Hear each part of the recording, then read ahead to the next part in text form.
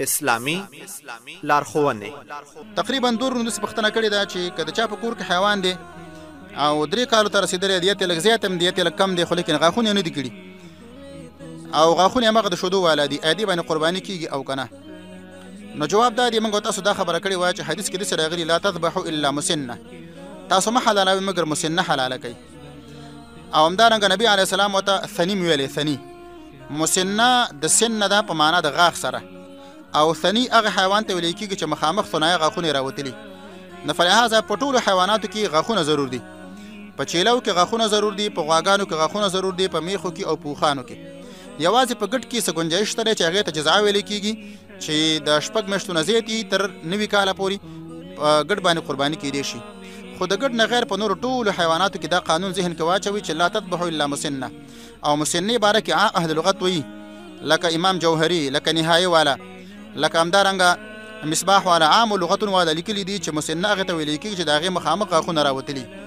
نو کله چې مخامخ غاښونه د شودو غاښونه ونه غورځي او نور راونی شي دې ته مسنه نه ویلې کیږي دا خبره تقریبا عام علماو لیکلې ده نو فلهذا په دې ټولو حیواناتو کې غاښ ضرور دی ولو که ستا په اخور باندې خپل خوسکی لوړ شوی دی او ستا د ذهن مطابق هغه دوه درې کالم برابر شوی دی لیکن غاښ راوتلی نه دی په دې باندې قرباني نه کیږي دا د شریعت فیصله ده دې ته به موږ تاسو غاړه ږدو ما سوا د ګډ نه چې ګډ کې څه ګنجایش شته دی زنانه پښتنه کړې وه چې زه مې د خپل خواخې نه جدا یم او زما خواخې قرباني نه کوي او منګه یې کوو زمون قرباني کیږي او کنه کیږي کله چې زوی او مور مثلا جدا دي ینګور او خواخې جدا دي نو چې دا قرباني کوي که مشران نه کوي کشران کوي بالکل دا یو قرباني کېدلی شي د یو قرباني نه کول په بل باندې کوم اثر نه کوي اگر کدی زوی ته په کار دا و چې د مور ته قرباني ورکړي وي ځکه مور ده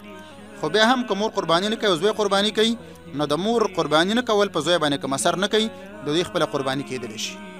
یو ورور پوښتنه کړې وه چې د قرباني خپله څه معنا دا قرباني زمونږ او ستاسو په دې عرف کې دا لفظ رواج دی موږ دا ډېر استعمالوو اګر که دې ته په د حیوان حلالول ته په عربي کې اضحیه وایي اضحیه او د اختر ته اضحا وایي غټ اختر نو لیکن دا قرباني چې ورته موږ او تاسو ویو نو په عربي لغت کې قربان ویل کېږي کل ما یتقرب به الی الله ار هغه شي ته چې انسان په الله ته ځان ورنږدې کوي نو قرباني دې لم ویل کېږي ته یو څو روپۍ راوال د الله په نوم باندې ورکه غنم جوار راواله د الله په نوم باندې ورکه بل شی راواله د الله په نوم باندې ورکه نو قربان هر هغه شی لویل کېږي لکه څنګه چې د آدم علیه السلام هغه دوه بچیو حابل او قابل نو هغوی باره کې الله وی اذ قربا قربانا دې دواړو الله ته سمال پیش که نو د یو نه قبول شو د بل نه قبول نشو نو قربان هر هغه شي ته ویل کیږي چې انسان دې لپاره مصرفي چې ځان په الله ته ورنږدې کی نه فلهذا موږ او تاسو چې د اختر کې حیوانات حلالو په دې کې موږ سره مقصد دا دی چې الله ته په ځان نږدې کوو نو ځکه موږ او تاسو تعبیر په قرباني باندې کوو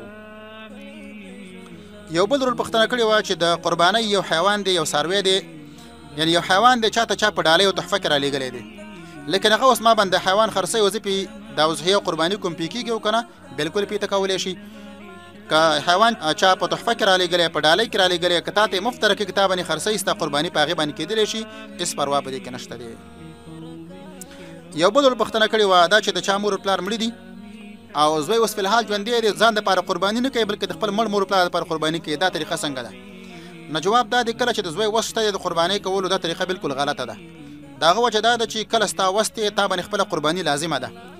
او هر چې د مور پلار د خوانه قرباني ده نو د مړ لپاره قرباني نشته د مړ لپاره قرباني ثابت نه ده مګر کته ته وصیت کړو نو کو وصیت د لکړې به بداغي وصیت ته پوره کې اله چې د مړي نه مال پاتې دي کو ونه پاتې نه ونه تابنه وصیت پوره کول به نشته خو لیکن کله چې تخپل وزداري او ځان د پاره قرباني نه کې او قرباني کې د خپل مور د پاره یا پلار د پاره نو دی باندې دا بچي ګناګار دی دا غوجه دا و چې دی باندې خپل قرباني لازمه و ته باید ځان د پاره خپل قرباني وکي نو دا خو اول دا د تبانه فرض او لازمه ده ا د مور پلار د پاره قرباني کول د مور د پاره قرباني نشته دي ا صدقه مالیه بشي صدقه کولې شي به دې بار کې خطرې قدا ده که څوک غواړي چې د خپل مړي خوانه قرباني وکي نو قرباني خو نه کیږي دا قرباني راوالي او فقیر ته ورکا چې دا ځان د پاره حلال کا د فقیر به قرباني وشي او استاد مور پلار به صدقه مالی شي نو صدقه مالیه کېدلی شي او قرباني نور د مړ د پاره کول څو پر چې وصیت نوي نه ده ثابته درې نوي یو څپه